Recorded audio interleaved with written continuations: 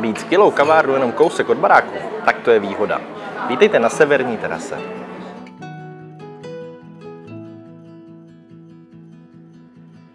Předem severní terasy je tenhle Central Park, kde se budete trošku cítit jak v New Yorku. Jsou tady velký dětský hřiště, můžete si sem chodit zaběhat a je obklopený školama, školkama a prakticky veškerou občanskou vybaveností.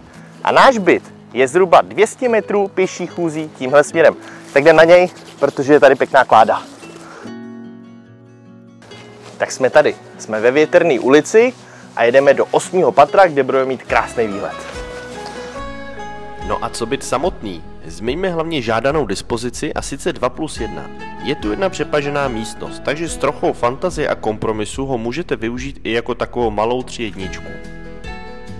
Obou stran je moc pěkný výhled, z jedné pak přímo na lesy a louky, které severku ze severu obklopují.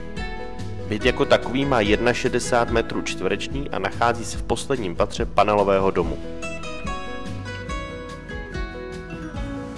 Severní terasa je prostě fantastický místo na bydlení. Chybu neuděláte, když tenhle byt koupíte jako svůj první startovací byt, anebo jako investiční a budete ho pronajímat, protože poptávka v této lokalitě rozhodně nepadne. Pokud se vám byt nelíbí a jenom se vám líbí způsob mojí práce, tak mě určitě sledujte na Facebooku, Instagramu nebo mém webu, ať vám nic neuteče. Moje jméno je David Král, jsem realiták, se kterým je radost spolupracovat.